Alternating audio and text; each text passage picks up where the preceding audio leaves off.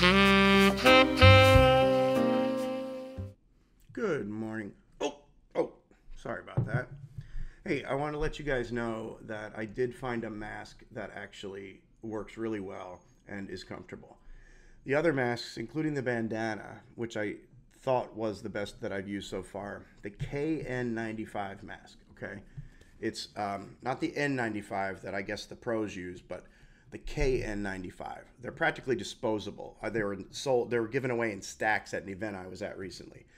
Um, even when I'm exerting myself pretty heavily, I find breathing to be really easy. So I want to let you guys know that if you're having trouble finding a mask, those cotton masks are having they're they're really rough on uh, the uh, in my opinion, just on the oxygen exchange from uh, nose and mouth to the outside world, where the oxygen actually is. And then also, someone asked me the other day after seeing my last video, I said, "Oh, you're a Mason." I am too. I was like, "That's kind of cool."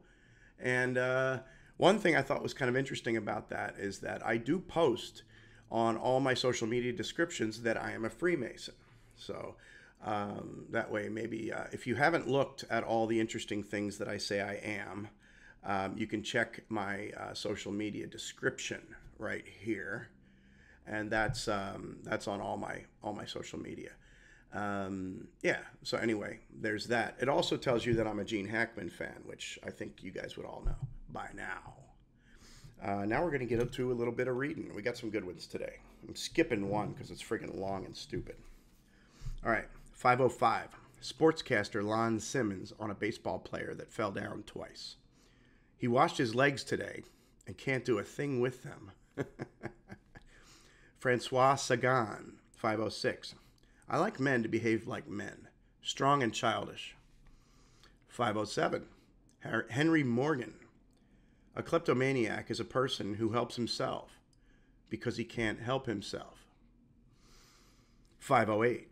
A hypocrite is a person who, but who isn't? That was Don Marquis. 510.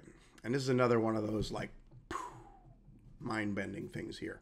510 by unknown. The two hardest things to handle in life are failure and success.